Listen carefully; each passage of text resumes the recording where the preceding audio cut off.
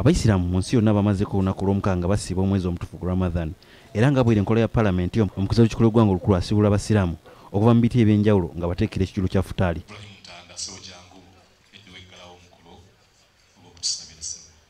omukolo guno sipiika kadaga kwasabidde abasiraamu okubako bye bagaba eri abo abatalina So I want to call upon you, all of you here have some wealth. Please, give to those who are not able to get. Omwezi guno gumanyiddwa nnyo gwa kukola ebikolwa ebyekisa nga sipiika akubiriza abasiraamu okwongera okusomesa abo abatalina busobozi kusoma n'okuwa obujjanjabi obw'obwereere ssaako okukolera abatalina busobozi kubaako kye beekolera During this month of Ramadan, can you go and teach in the university? That's giving you knowledge. Can you go and work in the hospital? Giving you knowledge. Your labor, can you support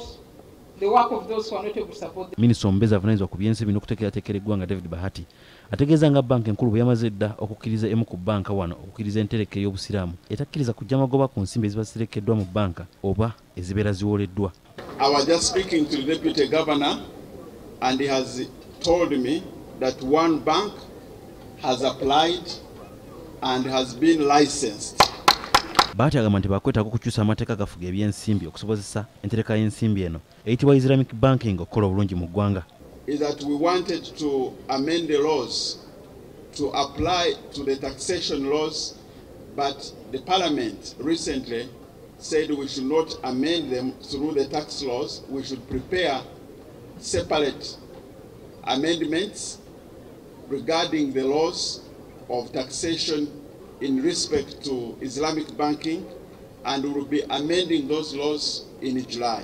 ono asabye ebitongole by'enfuna ebirala okwenyigira mu nteekateeka eno kisobozesa abasiraamu okutereka bakozesa enkola eno ne mu banka zonna okwetoloola eggwanga So we are inviting all banks and Islamic banking to come and operate here in the country and start designing the products that we are all looking for. Enkola eno egoberera amateeka g'ekisiraamu aga sharia agatakkiriza kujja magoba ku nsimbi zonna eziba ziserekeddwa n'ezeewoleddwa ku muntu oba ekitongole